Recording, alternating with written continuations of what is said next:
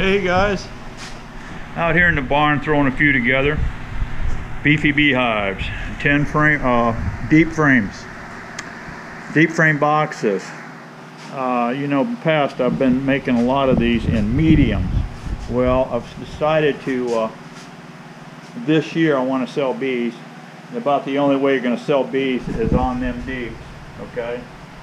So, anyway, I've been putting two coats of paint on them. These have all just been dipped in that uh, tallearth.com wood preservative.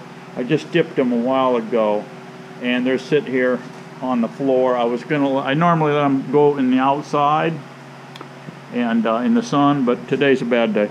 So they're in here and I just scattered them around because I'll be stacking them up soon. Uh, these here I just glued up. I've got one last box here to glue up and uh, I just ordered 60, 60 more frames. 60 more frames to fill these up. And uh, I don't know where you, where you guys are buying your stuff. I've been getting my stuff from Mann Lake. Uh, if you get them, if you get them in 20 uh, lots, boxes, you can get these for uh, 290 uh, free shipping. So buy, buy at least three cases, buy at least two cases. That way you can get over the 100 mark, $100 mark, and you have free shipping. Of course, I think that the trick on free shipping is they, they you know add a few more cents to these things, but still, all in all, 290 a piece, so that's not bad at all. Uh, I've got one box left here. These are kind of uh, they can be a pain in the butt. If you, if you never put one together and you're, you're looking at my box and say, man, I'd like, I think I'd like to do that, but then you're going to start putting it together and you're going to get mad and you're going to cuss me out and you're probably going to throw all the stuff in the dumpster and go on and order you a box. But there's a few tricks here. Uh, I noticed there's a screw up here on this one. You see this here is off. So I pull it up, I've got that. I might be able to tweak this thing in to where it's not bad. It's, we're going to make a box out of this regardless. But any any gaps or anything, uh, your old friend, your old friend is a water water putty, Durham's. You'll notice here I had a couple that little bit of that action on these. No big deal you paint you, you mix up a little putty in a small cup and you podge it in and just smooth it off with your fingers and let her set. Let her set overnight and then then I dip these. Okay so that's that. Another thing you'll notice here that this distance here to this band notch dado is shorter than it is here the same board was glued down here. I cut off this much to make this board. That's the last thing we did. We ran it through the table saw to cut it to size. This was nine and uh, I think nine and five eighths was that number. You can see it on the last video. So, but but the reason I put the notch up here thicker, and same with these ends. So when I take my three quarter cut out, I can put it here. If I did it the other way, this handle would be way up here at the top. Not very comfy. So you put it down here. I'll show you how to do that. So without any more BSing, let's go ahead and uh, let's go ahead and throw a box together and you can see what I'm up to here. This board, this one over here, I just drop in, you know, to hold it apart. You just put a big gob of glue on there and you leave it, leave the joint, leave that glue high. Leave it nice and fat like that.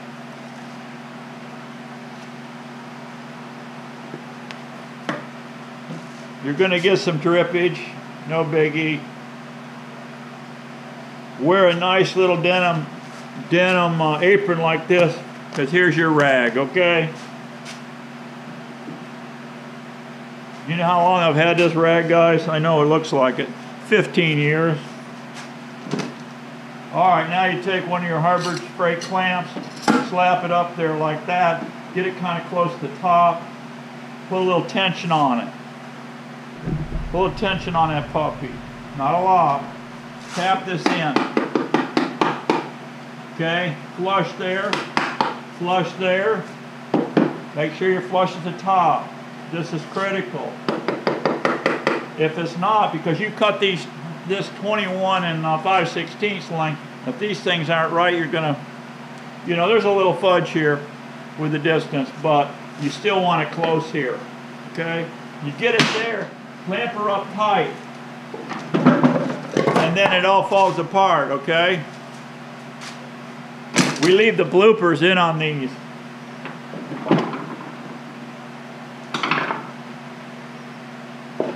Let's do that again.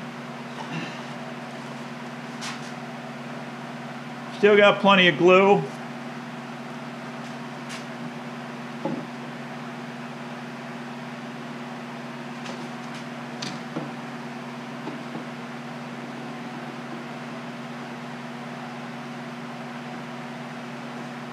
Something else, the reason it kicked out was, see I've got this thing off down here. We're gonna have to fudge this thing in. That's why it kicked out. So what we'll do here, this is one of the aggravation parts about this, like I was saying, but don't get mad and start crying and wanting your mommy, okay?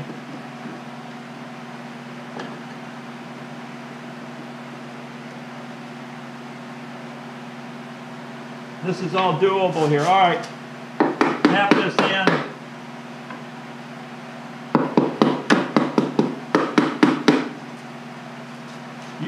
Usually, whenever you show somebody how to do something right, there's always screw up. Every time. If this camera's not on, nobody's watching, these things get blown out pretty fast.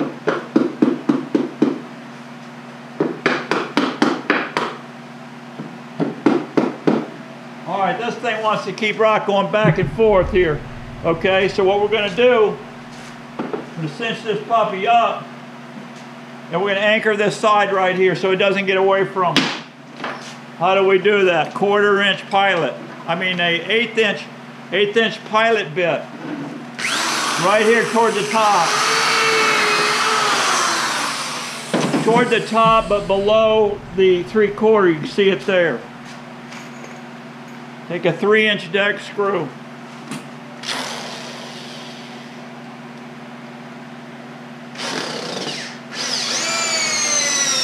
Slam that puppy in there. Now, you got to get this side. There she is.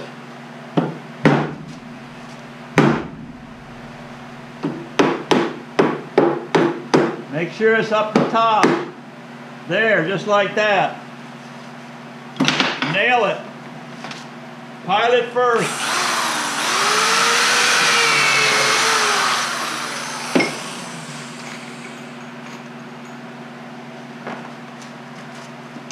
These don't take long. If you put a data box together, you're going to have this much time probably in it anyway. You know? With all them dovetail joints and whatnot. Okay, we got our top secured.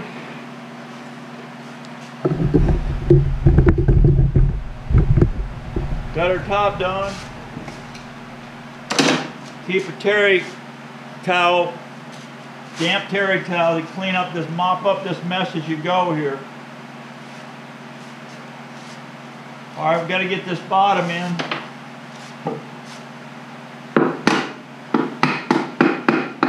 Here's one of them scenarios because this this was off right here. A little sloppy on the glue up. When I was gluing these two together, these two boards together, in the vise, clamping her down, this thing got off a little bit I didn't catch it.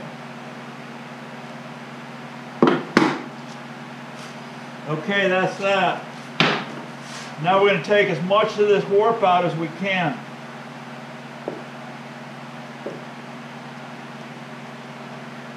There we go. Not bad. I mean, it, it got good squeeze out here. We got a little bit here, but we're going to take care of that with Durham's Durham's putty. No big deal. Some of these are come in, just jam up. I mean, the joints are tight. You want to keep these joints filled because you don't want any, uh, you know, any more excuse for beetles to get in.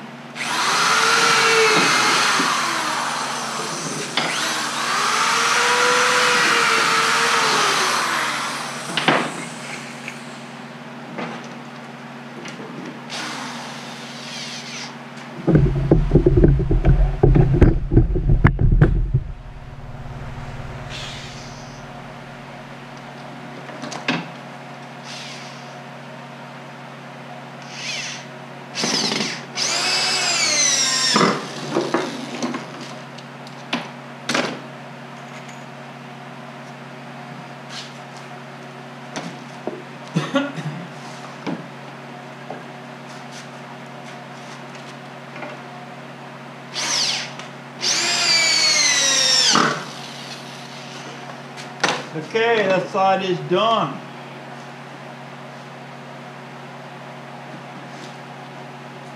That's all you need. You don't need to be firing four screws in this thing. Just put one down here and one up here. That's good.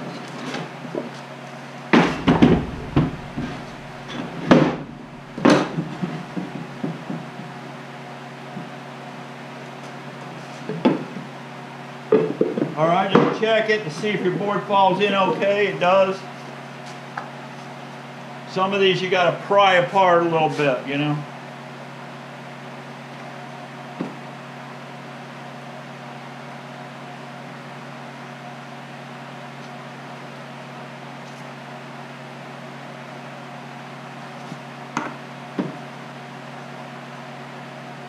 Slop on.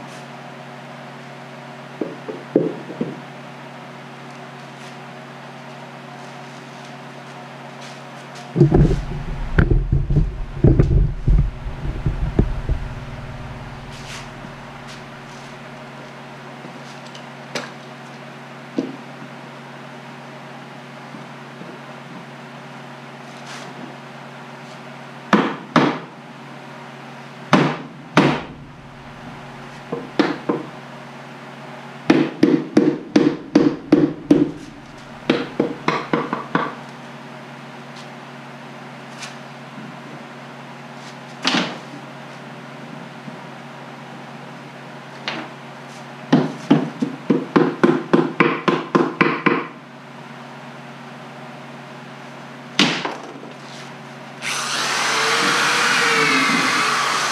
can see this side's a little high over here.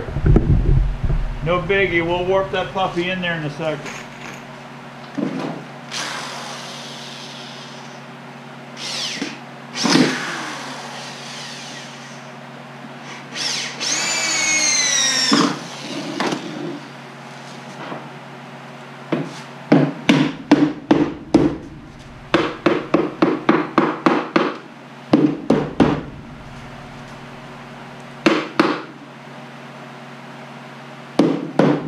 This wasn't the best box to demo this, but that's always the case when you're trying to show somebody something.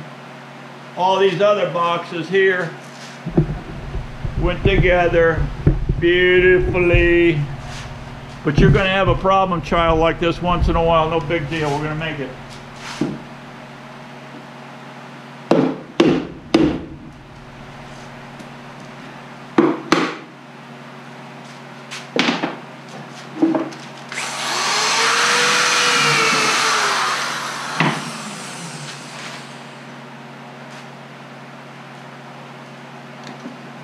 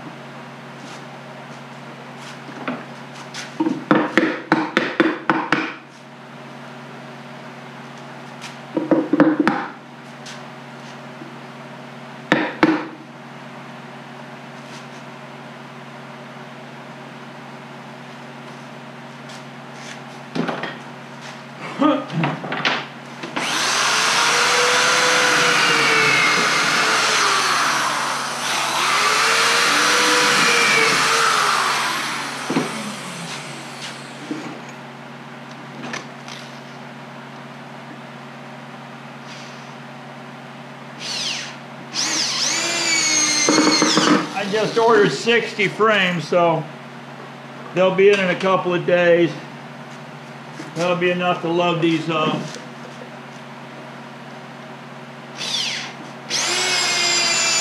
I'm trying to get ahead of the game. I want to have all this equipment ready. I don't want to be screwing around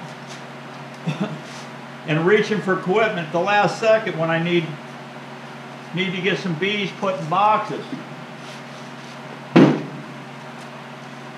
You don't want to get all this stuff lined up. Matter of fact, get it all lined up in the field, painted, done, put your frames in it, sitting there on standby, ready to go for your bees. You don't want to be fooling around the last minute. Okay, you got his handle here.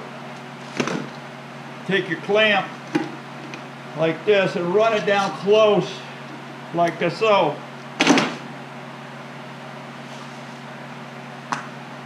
Little glue action. Put it right up there and feel underneath so this is flush. Hold it there and put your clamp on.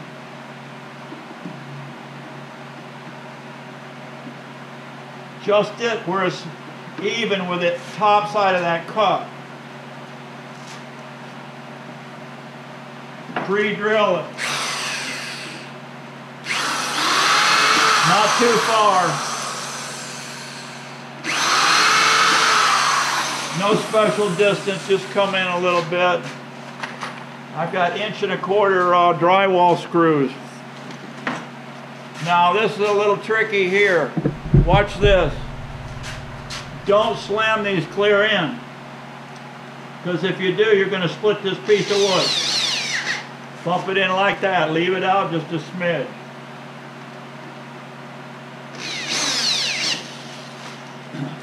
Finish tightening Phillips.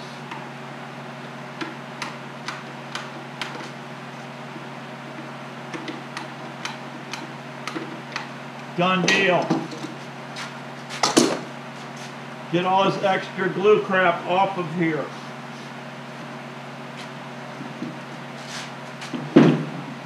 One more handle to do and we're done with this box.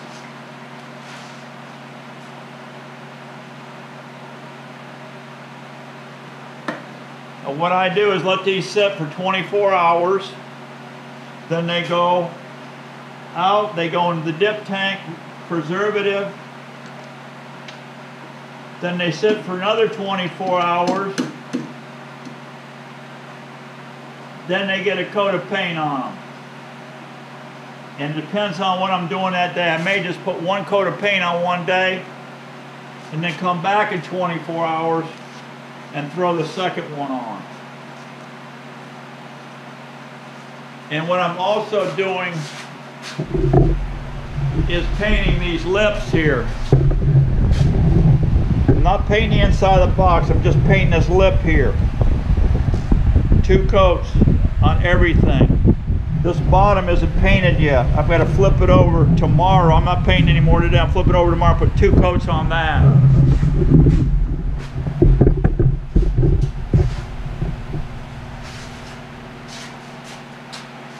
So as you can see, this box, very basic, simple box that you're utilizing, factory frames in it, but you're doing it all with free lumber.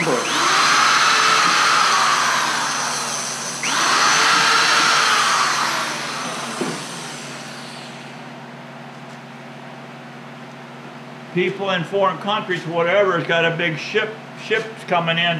They got all kinds of this junk they just burn it or throw it away or something where you can be utilizing it.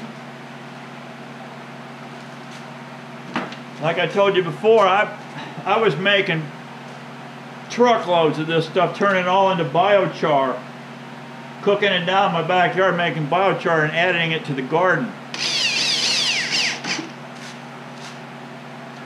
And then after that project got completed, I said, well, what else can I do with this stuff?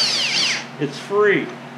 And then the brainstorm came in about beehives, and I said, let's try it. So I've been doing it for several, uh, you know, for a while now. I don't know, maybe second year of this. there she is.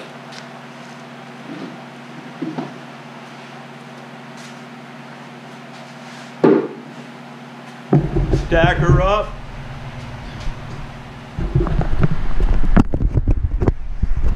Stack them up, let them dry for 24. Uh, these boxes here will get painted tomorrow. Their first coat or maybe two coats tomorrow. I think I got a fairly sunny day coming in. I just got a quart the other day. I'm going to have to get more. I usually buy it by the gallon, but this is the product that I've been using right here.